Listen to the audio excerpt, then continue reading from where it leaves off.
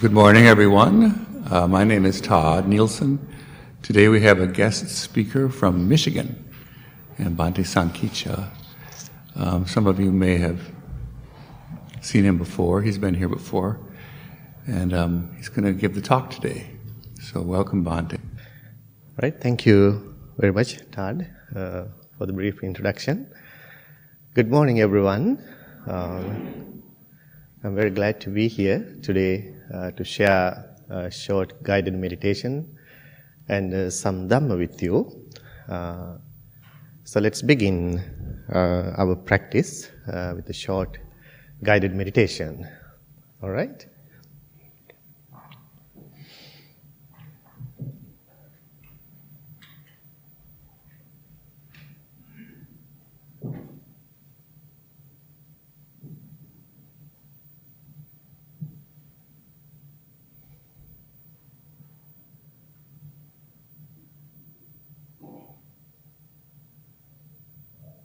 Maintaining the proper posture with upright body and gently closing your eyes.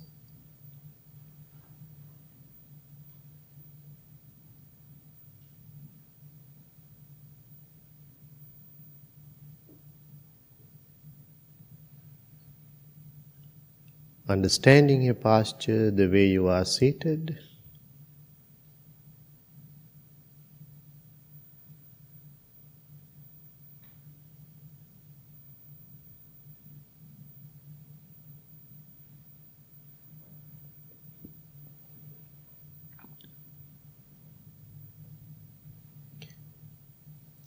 Appreciating this very moment, being very happy about this moment, your spiritual practice, your Dhamma practice,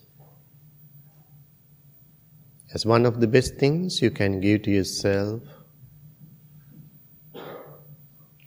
We are going to spend some time to relax our body and calm the mind to purify the mind from defilements and other hindrances,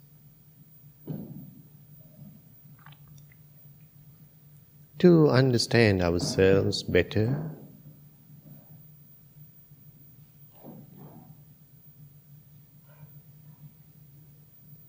With this appreciative joy, this happy mind, take a few deep breaths some long, mindful, and gentle breaths, releasing any tension and negative energies from the body.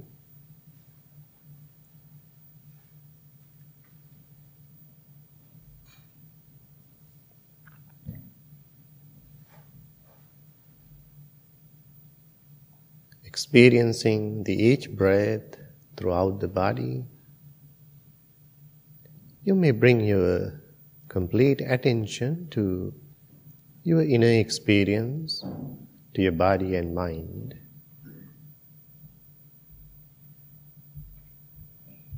So take a few deep breaths, filling your entire lungs, holding the breath for a couple of seconds, and release it mindfully and peacefully and relax.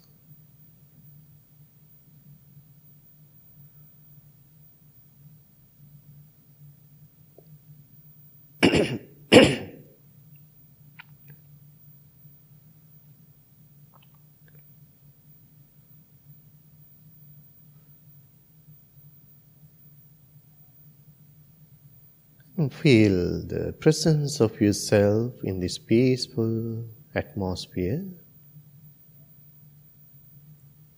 Feel the peacefulness and the silence around you.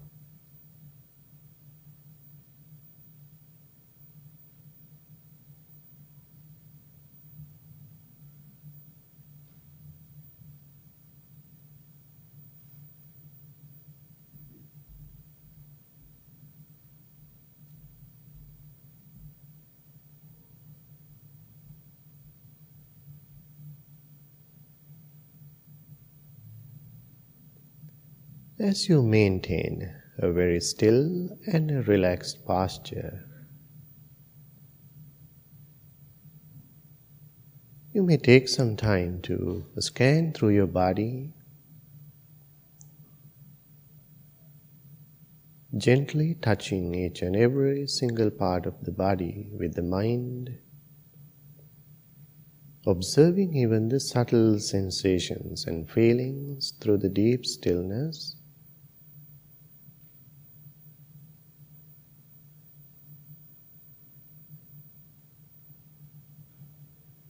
Just to see how you feel your body at this moment. If it is relaxed, if it is peaceful, or even if it is restless.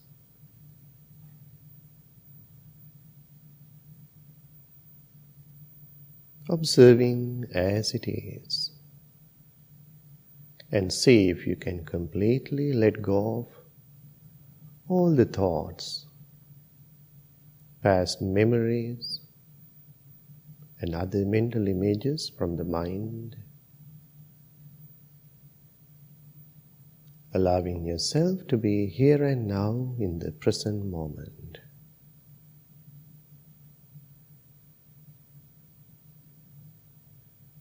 Limiting your mind just to your psychophysical entity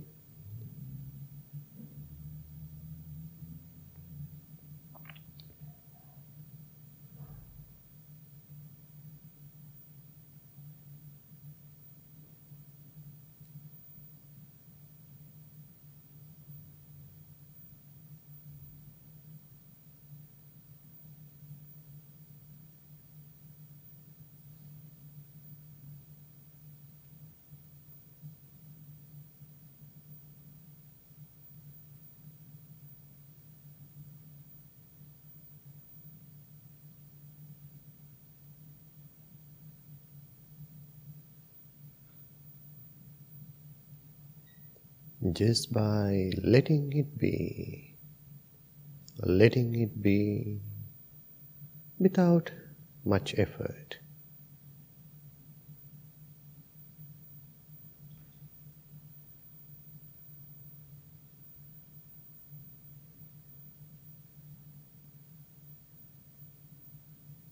You are just listening to your body with an empty mind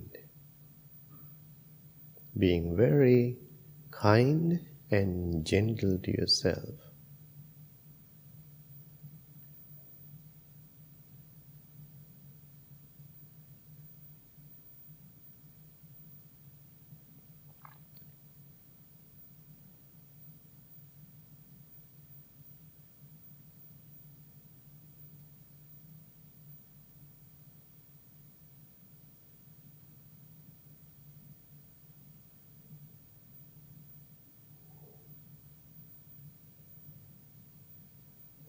Letting go of the past, letting go of the future.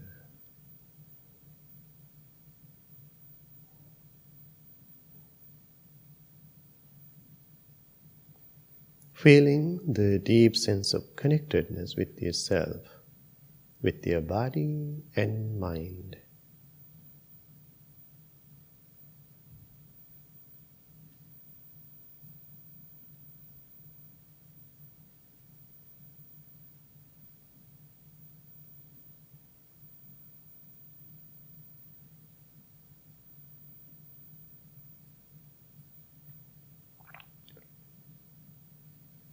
And do not forget to have a slight compassionate smile in your face.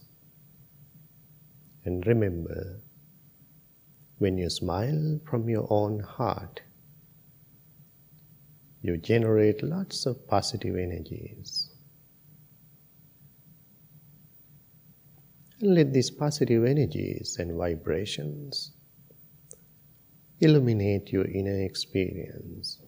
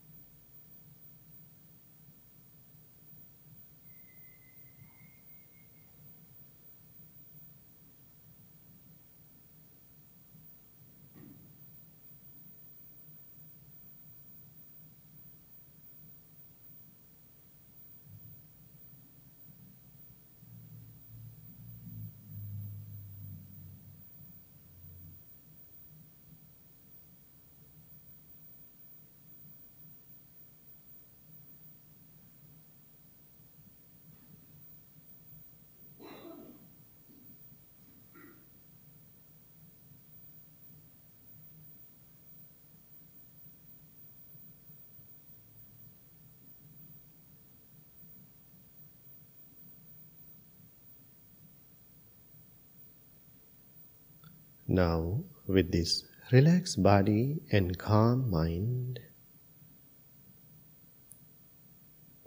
understanding the breathing process as you breathe in and out through the nostrils.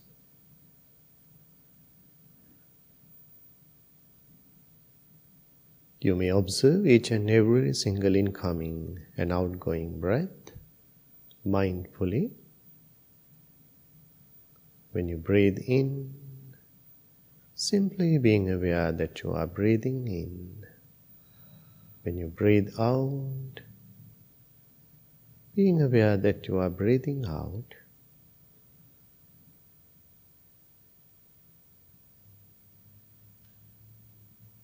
See for how long you can be just with the present breath without getting distracted. Once you feel the natural breath, let the natural breathing process take place.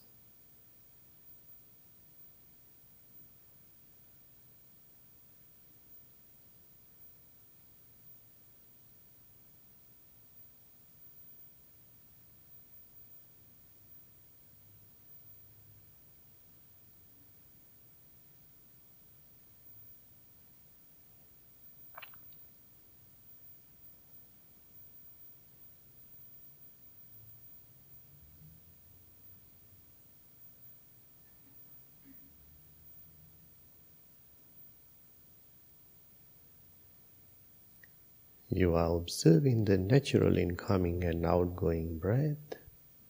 With present moment, silent awareness, relaxing your body and calming the mind with each breath, letting go of the past, letting go of the future keeping the mind always in the present moment with the help of natural breath.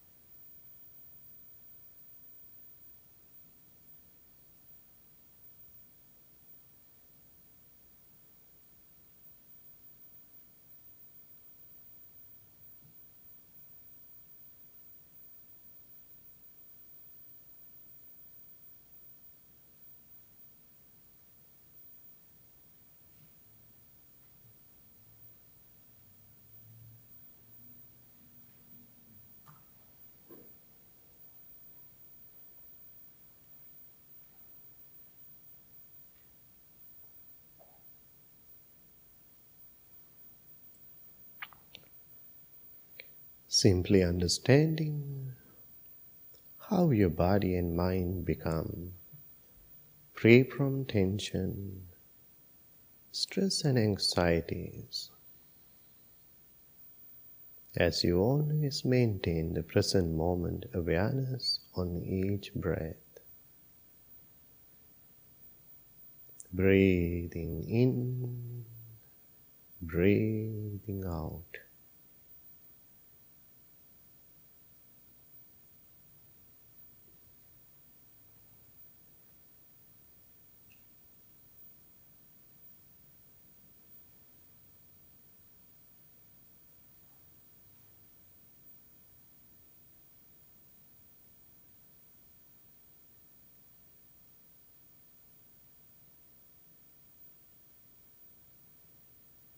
Even understanding and acknowledging your direct responsibility in maintaining this peaceful state of mind,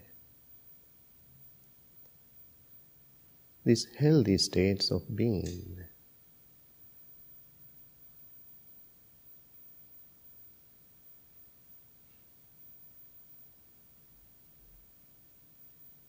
As human beings, we all have this potential to discipline and control ourselves. If we guide us in the right direction,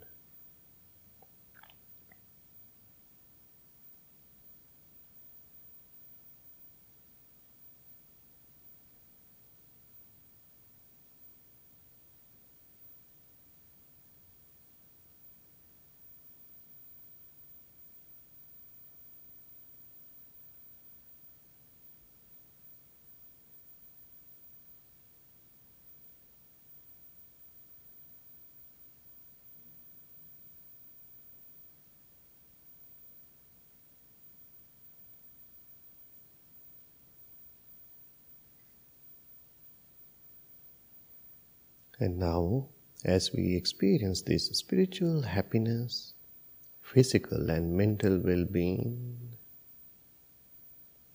let's share all these positive feelings now with all living beings in the world, in the universe, as our loving kindness and compassion. Letting your love go to all beings in all directions including all of us who are here now, wishing them may all beings be well. May all beings be happy.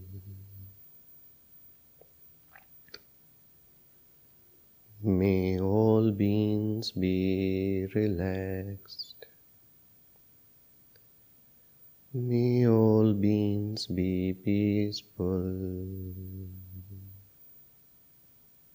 Broadening your heart and broadening your mind. Feeling the deep sense of connection with all beings. May all beings be well.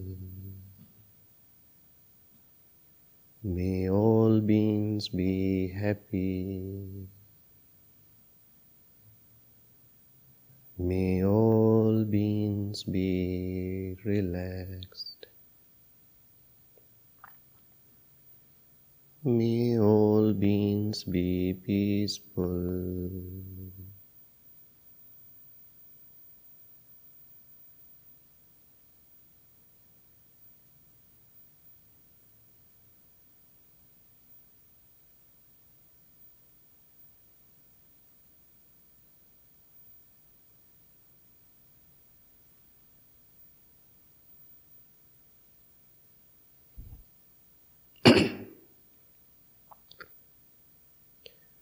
Okay, now turning back to yourself, taking a few deep inhalations and exhalations, refreshing your body and mind, understanding the posture.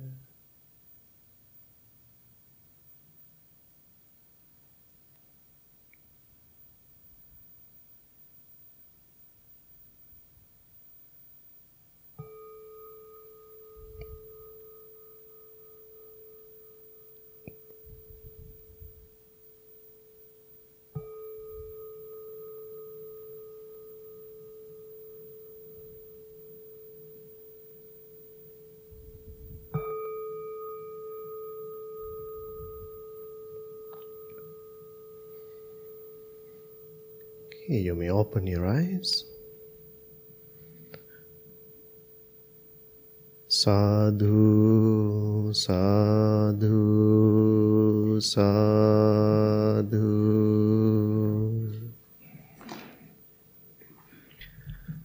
Um, I think uh, we can skip the chanting today. okay? All right. I hope you all enjoyed the peaceful meditation session. so, after the meditation, I was uh, asked to do a short Dhamma talk on a very special topic today.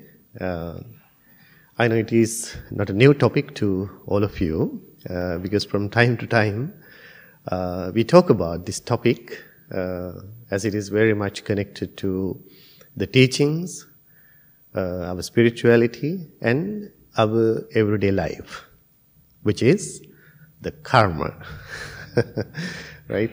The magical word. Uh, in fact, it is uh, a broad topic, uh, complex topic.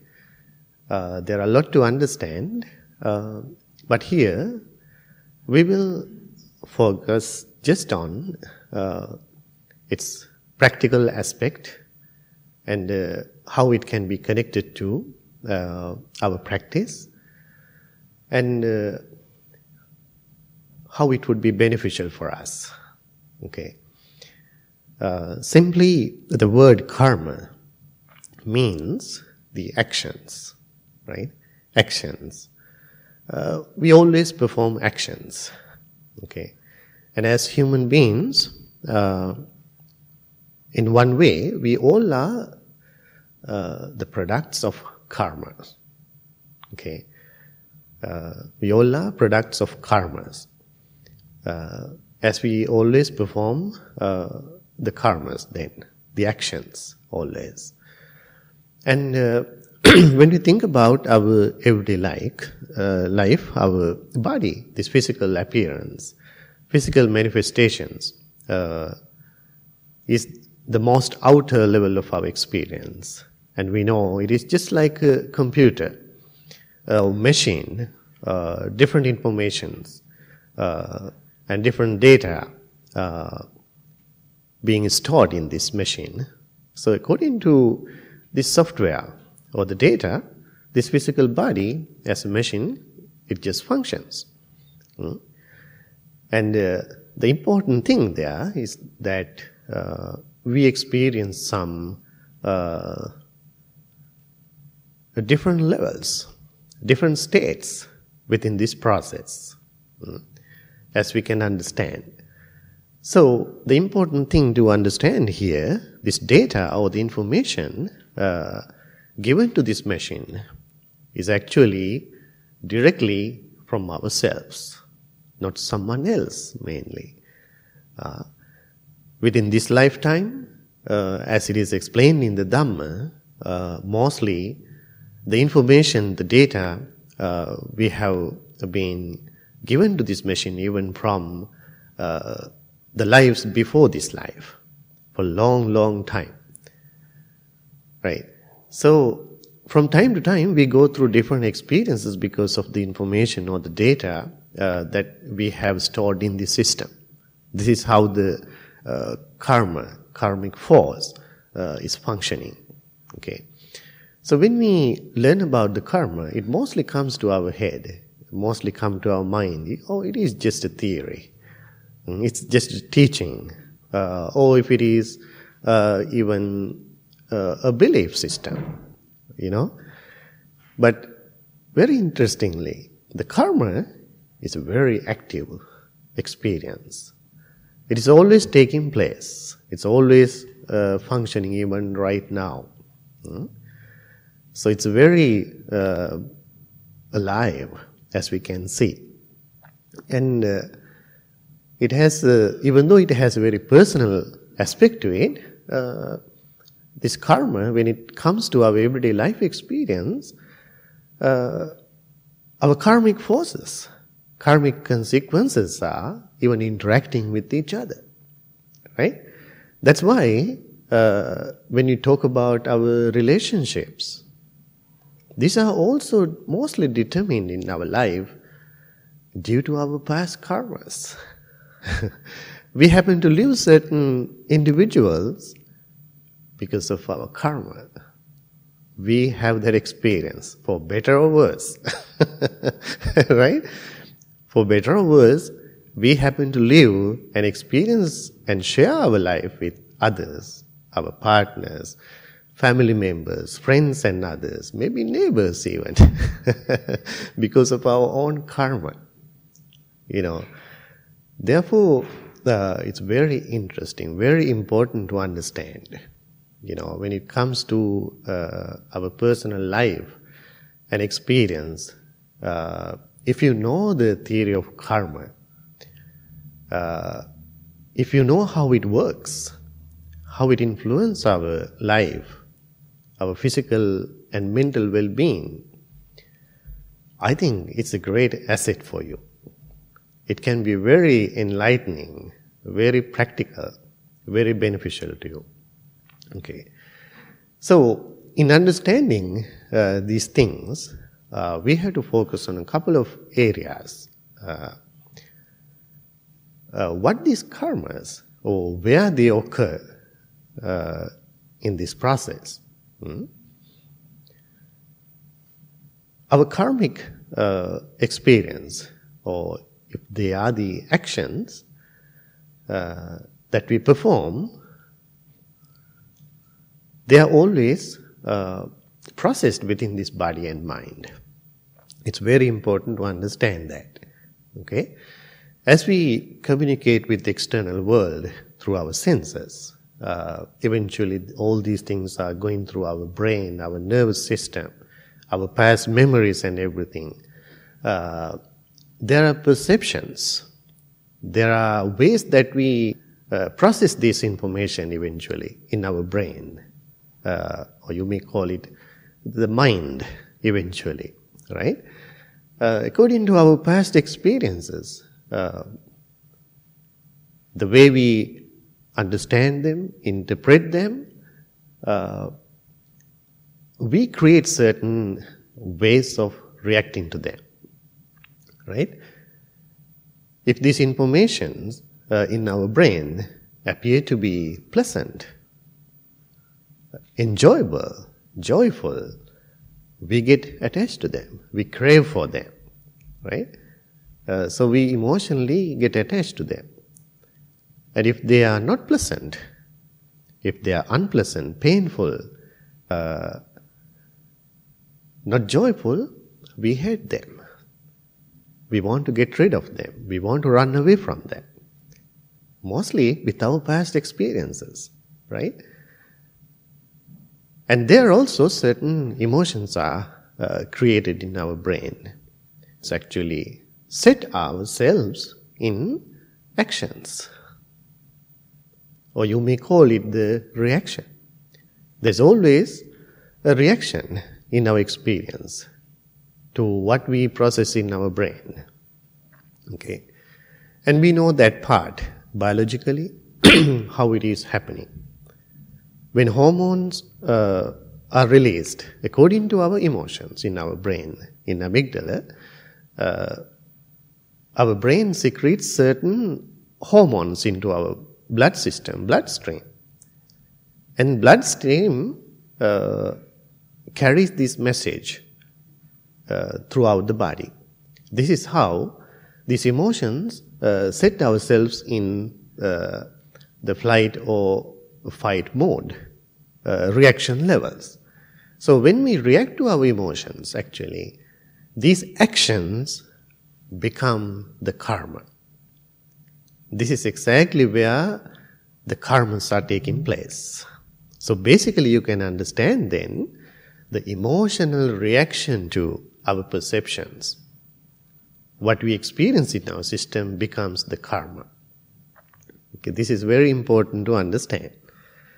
So the nature of uh, this phenomenon, therefore, uh, produces certain uh, consequence.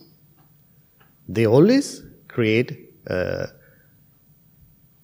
consequences accordingly. If it is a negative reaction, they create uh, negative consequences. If you act or speak out of evil intention, negative intention, that produces a negative consequence for you. If you react to uh, these perceptions, what you experience inside, according to uh, positive emotions, uh, positive feelings, the happiness, uh, and peace will follow. So, this is the basic theory. right? Uh, to simply say it, every action has an equal reaction to it. So it comes, when it comes to our human experience, it also works the same. It is same. So this is where it takes place. Okay. Uh, as I mentioned earlier, it is an ongoing process then. According to the Buddha's teachings, we are products of the karma, our own karma. Hmm? In one place, uh, Buddha explains that uh, kammassakomhi. If there's anything to say that belongs to you in this world, in your life, it is your own karma actually. What you have done. Hmm? It is the karma. To claim anything in this world, in this universe, to be yourself, it is the karma. You know. And kammadayado, your karma becomes your inheritance. You carry it always with you. Wherever you go, whatever you do, you always carry your karmic consequences. So it becomes your inheritance. Uh, and karma yoni, it becomes the birthplace for you. So this is very interesting point actually. Uh, when you understand the theory of karma and how it works, according to the Buddhist teachings, it goes beyond this life. You know, uh, according to that explanation by the Buddha, we are the travelers through this existence because of our karma. It becomes very complex and beautiful when it comes to uh, the special teachings of the Buddha on the karma and rebirth. You know, how the rebirth process is explained is mainly uh, with the theory of karma. Okay. So we are born as human beings because of our own karma. And this human life is considered a higher level of these uh, different realms of existence. Hmm? We have done a lot of good karmas in our past lives. That's why we are born as human beings. So different beings are born uh, due to their own karmas.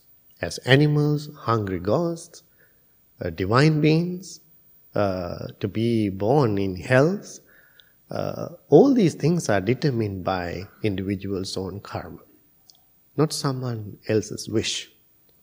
This is how uh, Buddha explains it by seeing how these things happen with his own mind.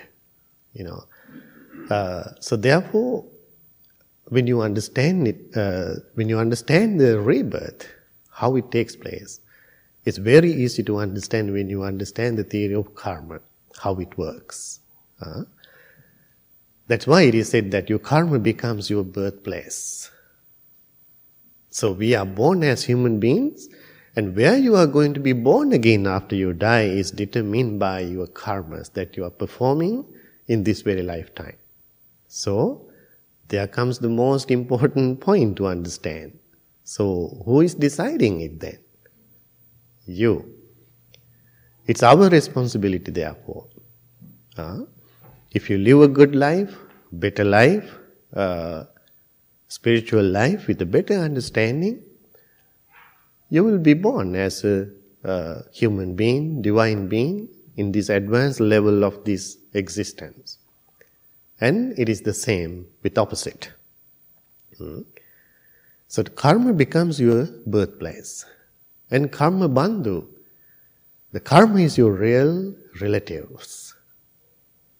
Karma is your real, uh, true relatives actually.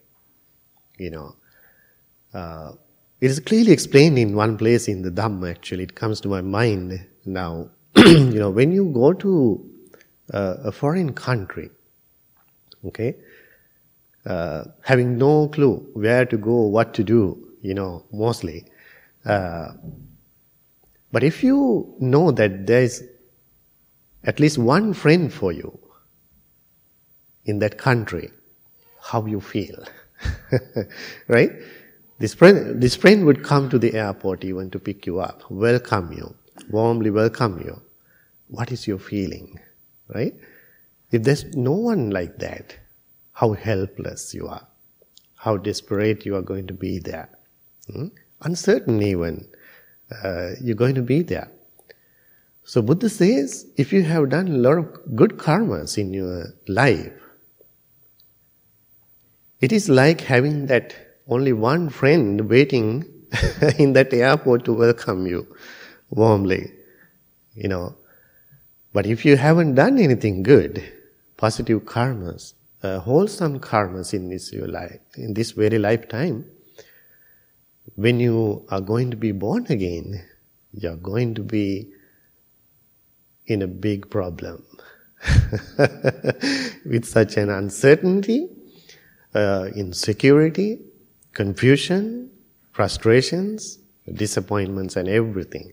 You know, that is to uh, understand, as I explained earlier, this way it becomes a big asset for you when you understand the theory of karma and how it works. Okay. Uh, and karma patisarano, your own karma becomes the refuge for you then. You know, if you understand it, if you guide yourself in the right direction, it becomes your refuge, you know. And it becomes very broad actually when you understand uh, the circle of birth and death, how it works, you know. And very importantly, to understand how it works now, as I mentioned earlier. I mentioned that it's an ongoing thing, it's very active even now. The karma and its reaction you know. Just to understand that very easily, you know, when you are angry, right? When you are angry, uh, if you are angry at this very moment, how you feel? How you feel it in yourself, in your body, in your mind, in your emotional level, how you feel it? Hmm? Are you peaceful? are you restful? Hmm? Are you comfortable? No. It is like you are burning in a hell. That's how we feel when we are angry. And it is same with all negative emotions. You know, we are totally being disturbed by these emotions. So we can see that immediate reaction to our own karma, our reactions. So these reactions are uh, explained in three ways. We react to our negative emotions through our physical actions. Hmm? Kaya kamma, the physical actions. We hit someone, we disturb someone using our body, you know, in our actions. And of course, we reaction to our negative emotions through our words, verbal actions. Hmm? This is how uh, the karmic reactions are uh, mainly explained. But going beyond that, uh, in the Buddhist teachings, it is explained uh, as mental karmas too. Hmm?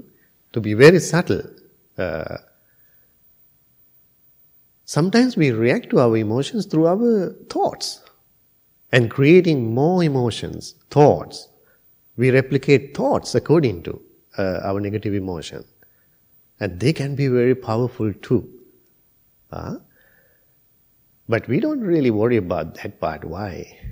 Nobody can see it.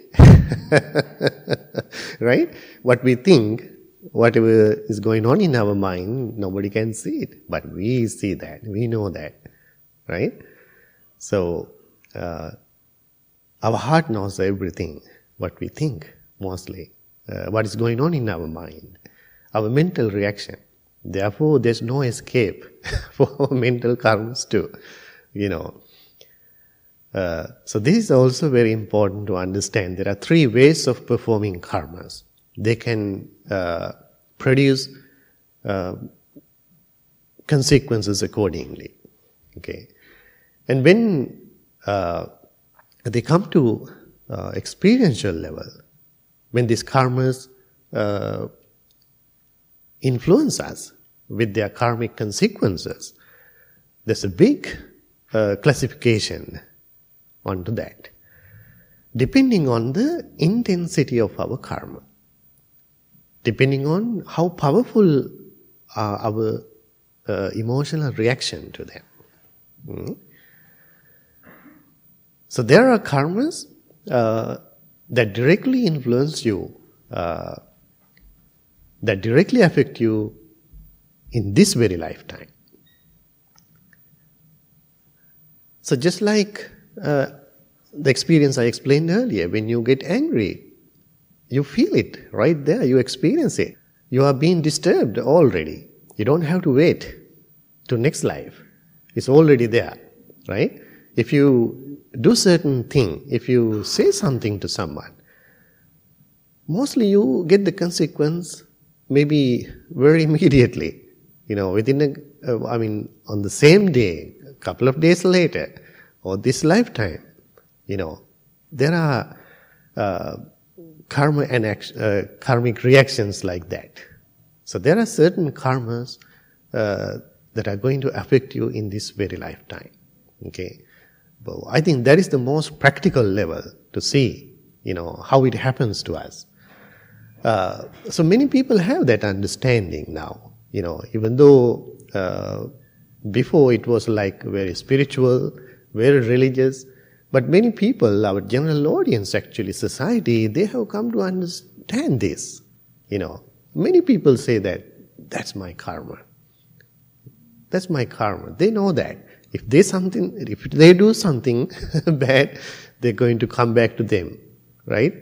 We call them the boomerang uh, action or the reaction. You know, what you throw out will, will come back to you. Either way, positive or negative. So it's a common general understanding today. What you do, what you put out there really matters to you. Right? It's no longer a secret or highly spiritual thing. It's the practical understanding nowadays. People know how it works, right? That is because of their direct experience in there. You know, as they interact with people, relationship, maybe workplace, uh, family members and others, right? And uh, mostly people are talking about what happens in the nature even today. Many people would try to explain that uh, as something directly connected to human behavior. As human beings uh, are declining in a way, you know, having no respect to each other, no any appreciation of the nature, what they do, how they live their life, how they behave, right? So there's a certain way that nature reacts to this human behavior. So that way it becomes very complex.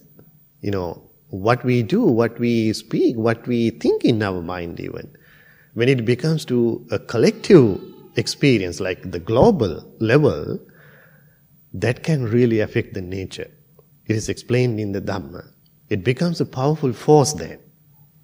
You know, uh, to explain that in a very uh, experiential level, you know, there are some places, there are some houses even, when you go there, you feel some welcoming feeling. You want to be there. You want to stay some longer there. Right? I think we all have that experience. And sometimes, when you enter some places, you can't wait to leave that place. you want to go away. You know, some negative feelings sometimes. So that can be directly connected to the individuals. People live there. You know, how they live in that house, that space, how they behave, what kind of things that they value, appreciate, how they communicate with each other. Uh, all these vibrations actually can really change the environment, that atmosphere. So, very practical thing when you come to this place, how you feel, right? These positive vibrations, positive energies, right?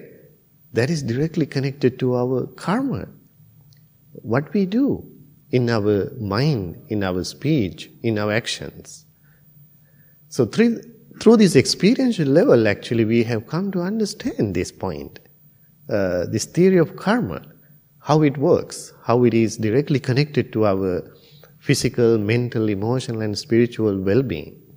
You know, so uh, this karma, therefore, is a very practical, ongoing thing. You know, uh, even though we don't see it, even though you are not aware of them, it's happening always. So karma is very complexly connected to ourselves. Uh, and there are karmas that will affect you directly right after you die.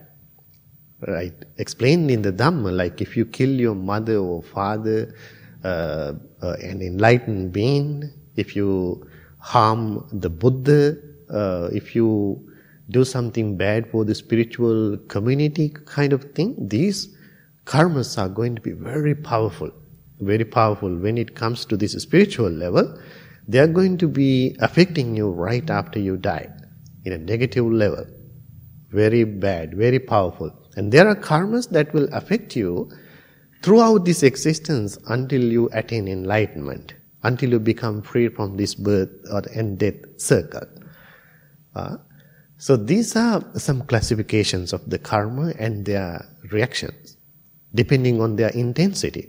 And the most important thing to keep in mind, this karma is only one theory, one condition that explains how things happen in our life.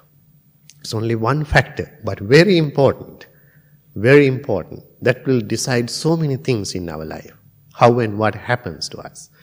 So therefore, as human beings, Buddha explained that we can control the karma. We can control the karma. If we understand this theory, how it works, and as I said, where it works, right? We can influence it. We can directly control that. Especially where this is done is actually in our brain, in that process, as I explained earlier. The exact point to control that actually. When these informations are going through our brain, there are two sensory pathways. One goes directly through our amygdala, uh, getting this emotional experience involved and then direct our reaction accordingly. But we can divert that. We can divert that signal, that sensory process in our brain bypassing the amygdala to go through the uh, cortex, frontal lobe, that we direct our signal waves to analyze it properly, wisely, intellectually. That is what we call the reasoning. Uh, what magically happens there is the real application of the mindful awareness. So know that. Technically, what you are doing by practicing mindfulness meditation is that you avoid that emotional level getting involved on our way. We try to guide this process to go through our reasoning, our thinking brain, and we guide ourselves accordingly. So, this is exactly how Buddha explained the theory of karma, the theory of birth, rebirth, all these things were there even before Buddha coming. This is but what Buddha really realized. How to control the karma and possibly how to get rid of the process of karma even. Avoiding these negative uh, emotions. Hmm? So, if you do not produce these negative emotions, even the positive emotions are impossible there. It's a question for you to think about. Because emotions are always blind, positive or negative. According to Buddhism, there are no positive or negative emotions. The positive emotions are explained as highly evolved mental states. They are no longer emotions because emotions are always out of your control. They are controlling you. But in the spiritual level, there are no positive emotions. They are highly spiritual states or qualities of mind, like love, loving kindness, right? So, Buddha spoke about how to control this. take the control of this process and even possibly get rid of all the karmas. And that is, that is how Buddha said, even to get rid of the suffering of this existence. Because we are going to be born again because of creating our own karmas. So Buddha discovered how to end this process. Not to create any karma, but to be at peace always without getting into this emotional level and create any karma. So we can influence, we can control our karma and their reaction. And this is uh, what Buddha discovered. And it is possible for anyone. It is possible for anyone if you really use this proper mindfulness technique or the introspection. The human beings are, only human beings are gifted with that. Only human beings can watch their emotions, uh, witness their emotions, control their emotions before reacting to them. So we need to encourage that practice, that level of awareness in our practice, and guide ourselves in the right direction. So the positive karmas are helpful us, uh, helpful to us to live a peaceful, happy, spiritual life. You know, ending of all the karma is a different story you know, getting into a deeper levels. But to live a harmonious life, peaceful, happy life, we need to learn how to uh, perform good karmas, positive karmas, wholesome karmas. They are good for you, they are good for others. That is the way to live a happy life. Okay? So these are some essential information for you about the karma. Uh, so for the time given, this is what I can share with you for now. Uh, I can take any, maybe one question. if you have any. Yes.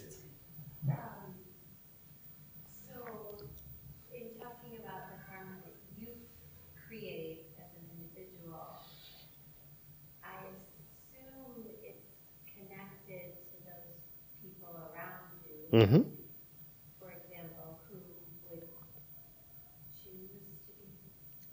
Yes. Yes. So that's related to your karma? What do you think?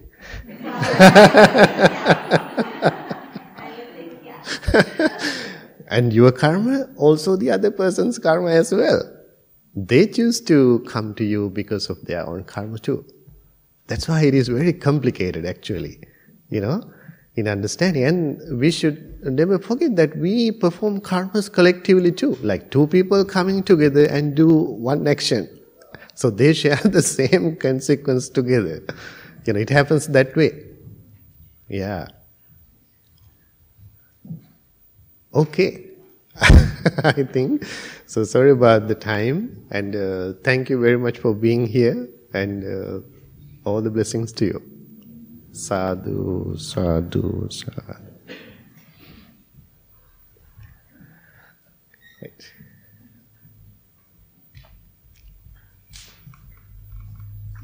Hi. Hello, hello.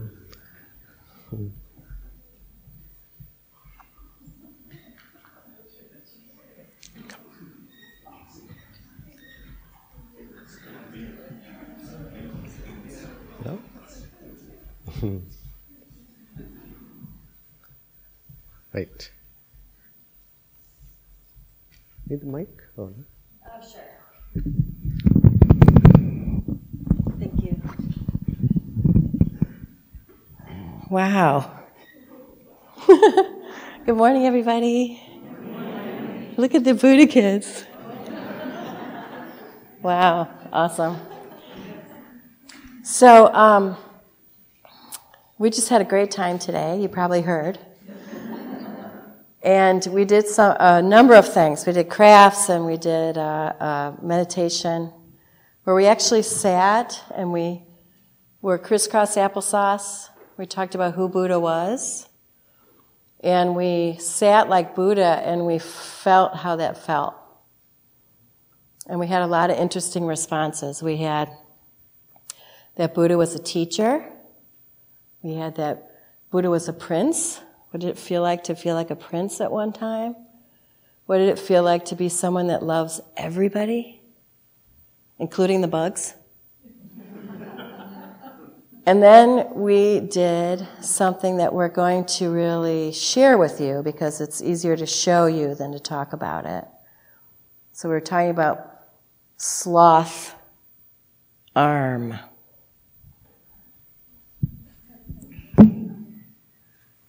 So get ready because we're going to teach you how to do it, right? Ready, guys? Let's use the right arm. Here we go.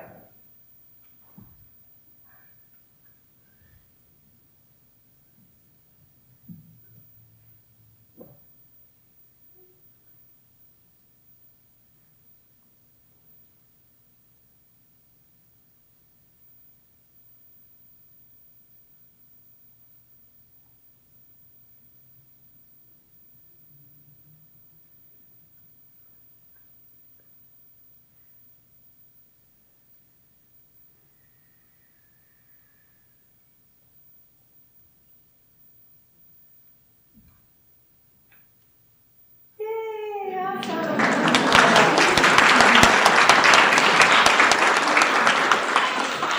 It's slow motion on purpose, I think, today. So, thanks a million, Buddha kids. We can leave now, and uh, we get to play downstairs. Thanks, everybody.